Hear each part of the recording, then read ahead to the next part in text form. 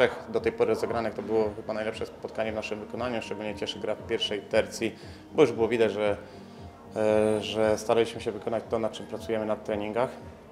E, Cieszy nas to, że wrócili do drużyny po bardzo długiej e, nieobecności. Bartek i Patryk i Filip dostali dzisiaj po pół meczu, bo Filip jest praktycznie po dwóch treningach na lodzie, Bartek jest po trzech treningach na lodzie, także nie chcieliśmy ich zbytnio męczyć, eksploatować, e, ale zagrali dobre spotkanie jak po tak długiej przerwie. Myślę, że zagrali dobrze, pokazali się z dobrej strony. W drugiej części meczu zastąpili młodzi chłopcy, nasi wychowankowie.